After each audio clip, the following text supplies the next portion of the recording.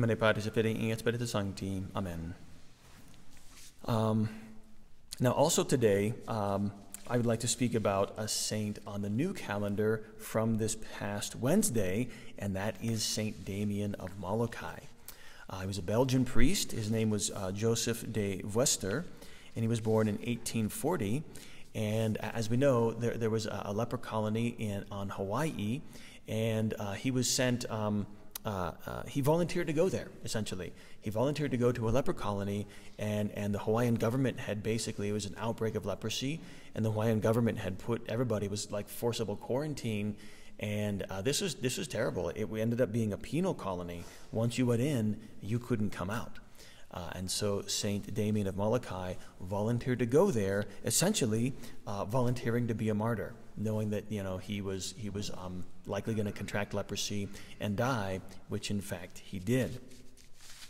Uh, but you know, of, course, he didn't start out that way. He he's joined. Um, he was in a religious order as a uh, uh, um, um, just a, a, brother, and he was he was uh, considered at the beginning um, uh, not really brilliant. I mean, not stupid, but kind of ignorant. You know, so he was from a peasant family. He had an older brother in the order. Um, uh, and this is back in the time when Europe had a surplus of vocations. They had more priests and religious than they could than they needed, and so they would send them overseas to mission ter- territory, which is what Hawaii was. And so uh, Brother Damien uh, ends up going to Hawaii. He's there, I think, for nine years. And during that time, he is ordained a priest. And then that's when all this happened. The leper colony was created. Um, you know, the government was suppo- supposed to be supplying aid and, and, and means to these, these poor lepers, but of course it was insufficient, right, as, as it always is. Um, uh, and so uh, uh, uh Father uh, Damien um, uh, volunteers to go there to that colony and assist the poor lepers. And um, he, he comes there upon his arrival he, he finds the colony is very poorly maintained. And and you know there's some government workers there and there's government aid and they're supposed to be building roads and and, and, and so on. And that's not happening. Nothing's happening. These poor lepers were, were taken there and it was like well you know they can have this land and they can grow their own food and kind of have their own society. But there was no leadership. There was no structure uh, and, and, so, and so Father Damien, this, this poor, you know, somewhat ignorant peasant from Belgium, he becomes basically like the mayor, the governor, the headmaster, uh, you know, everything. Uh, so he, he, he takes you know, these government funds that are available, this, this government you know, assistant that's supposed to be being used, and he uses it properly. He oversees building roads, schools, hospitals, orphanages. People are dying, they have leprosy, they're not being taken care of. Um, and so he organizes all of this. I mean, his efforts are really, really absolutely incredible. Um, and I think originally he had the option to leave. He, he, he was going to be he was going to switch out with somebody else, but he refused and said, I, I, want to stay here with these people." Right? He, he grew to love them. And so uh, there he worked for the rest of his life, which was only going to be a short uh, 16 years that he worked in that colony. Uh, he himself contracted leprosy. And he, he only found out because um, I think it was um, the bath water was, was too hot. It was scalding water. And he went to get in, and his foot started to blister, and he couldn't feel anything, couldn't feel any, uh, any pain. And that was typically, typically the way you would find out you had leprosy is you would get a, a deep wound, a cut that should have been painful, and you didn't even know it, because uh, that's what leprosy does. It deadens the nerves. And so from that moment, he knew that, that um, it was, there was no, no choice any longer. You know, he would never be able to leave. But, you know, that didn't matter. He'd already made his choice. He wanted to be there with God's people, with God's children. And uh, towards the end of his life, I think it was his, his last year, he knew that his end was coming. And, and leprosy, you know, as you get, you know, more and more advanced, um, you can lose fingers and, and digits and toes and so on, and you get very uh, tired. Um, he exhausted himself in that last year of his life, knowing that he only had so much time, and so he worked harder than ever. And everybody saw this. Everybody saw that he didn't have to do this. He volunteered to go there. He wanted to be there among them, and you know he loved he loved them, right? He, he loved these these these lepers that everybody else. I mean, we have that term like you know uh, that that person is a leper, or uh, you know treat treat this person you know like it's like I have leprosy. What's wrong with me? Like nobody wants to be around them. They're outcast by everybody. And yet here was somebody who wasn't related, didn't know them, wasn't from Hawaii, wasn't even from that part of the world. He was on the other side of, of the world, and he came all the way over there and gave his life for people he didn't even know right?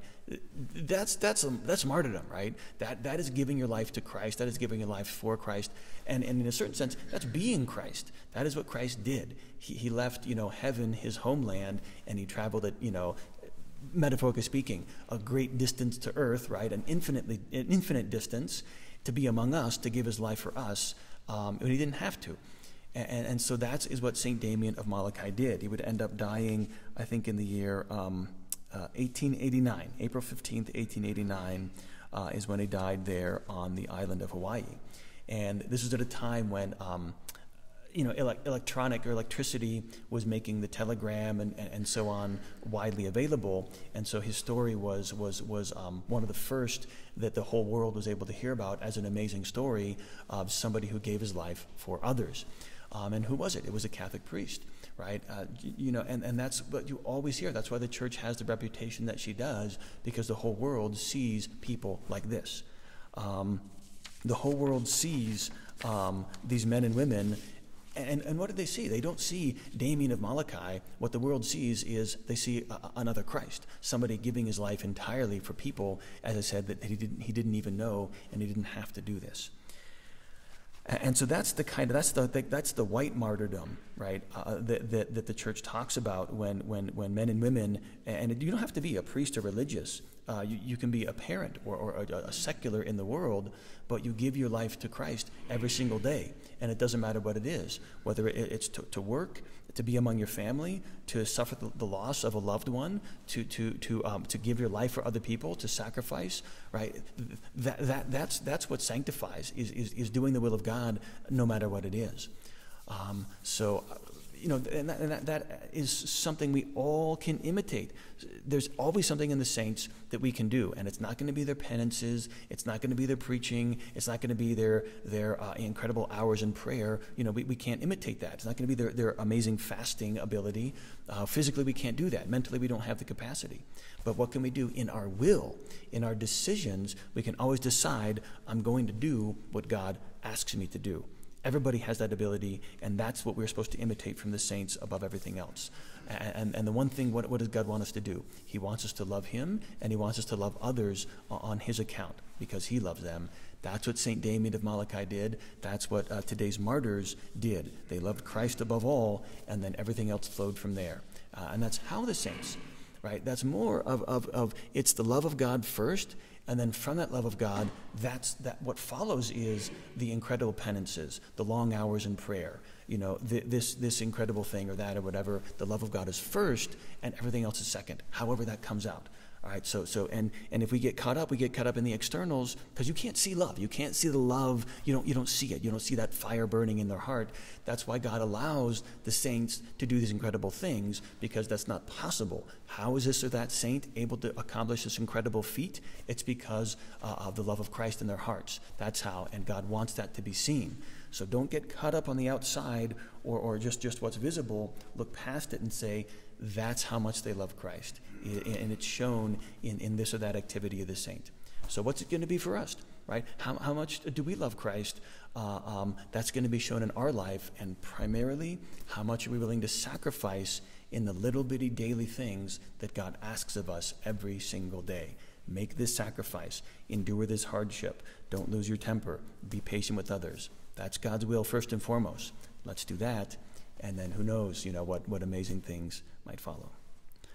Uh, so God bless you all in the name of the Father, Son, and the Holy Ghost. Amen.